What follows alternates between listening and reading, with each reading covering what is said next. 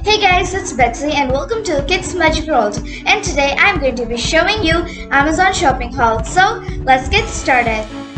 The first item is vegetable cutter. The color is cool green. This one is 725 ml and it also has three blades.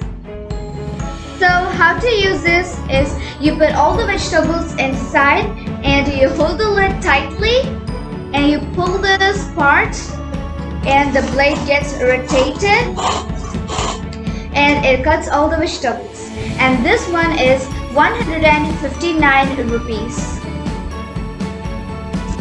And the next item is 3 pin plastic seamless snakes with 2 spirit levelers.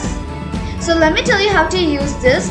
So you have to take the sharp part and you have to keep it on the wall and you have to hammer this long part well you should not hammer until this long part completely goes inside the wall. You have to leave some gap so that uh, you can hang things. Well you can hang only weightless items.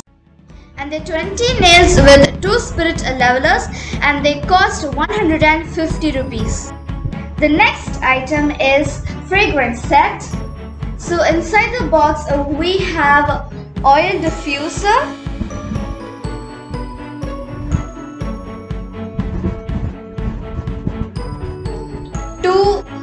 tea lights.